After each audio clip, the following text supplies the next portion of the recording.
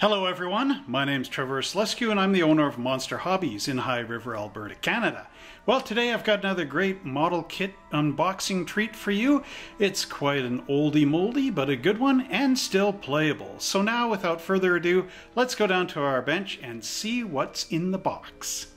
Today we have a bit of a double review, although it is still a single package. These are the old Night Goblin Squig Herders, as well as a bunch of squigs in the packaging. Now, although the newer models have changed for the Gloomspite Gitz with their squig herds, you could still field these models in with your army. They are a little older, and of course, there's not a full complement of 10 squigs and two of the squig herders. However, if you want that kind of thing, you're going to have to compile up a bunch of different squig sets from the past if you can still find them on places like eBay and anywhere else.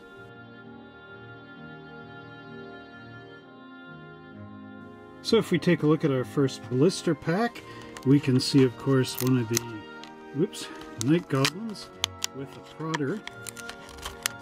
Let's just get these guys out. Finally, fresh air after being in there for many, many years. We get five square bases, which uh, if you've got round base conversions, those are always nice to switch over. And then we do get our three squigs, as well as our um, Night Goblin Squig Herders with the cymbals and the poking stick. And again, you can see a lot of neat things going on here. It looks like there's a little goblin or something tied up onto the end of the stick. And then, of course, our spear point. So let's just move our metal squigs out of the way. Nice little night goblin type of guy. Does have herder mounted on the base. And uh, very cool. Nice little flowing cape on there. Again, a nice little model.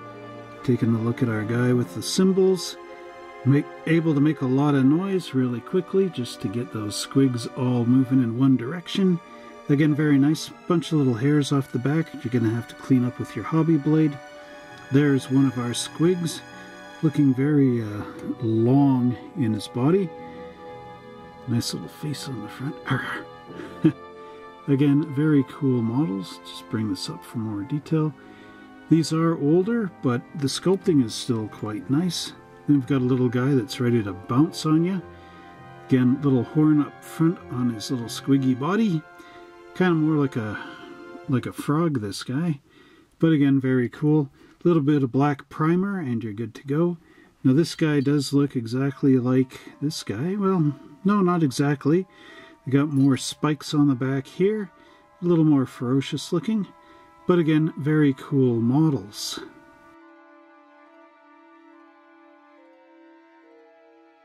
Now as we look into our second blister pack, this is sort of the alternative from the first one. Uh, and of course, we again get five square bases with the slots in them. I need to find round bases with the slots in them. And we get another four squigs, a little bit different this time. And for our squig herders, we've got the guy with the trident, as well as the little guy with the bagpipes. So there's your alternatives there. Now we can just move the squigs off to the side for a minute and let's take a look at our bagpipe player.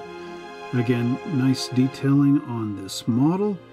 He's got a little boot up and there's the bagpipes. This will look great once painted. He even has a little kilt on the back.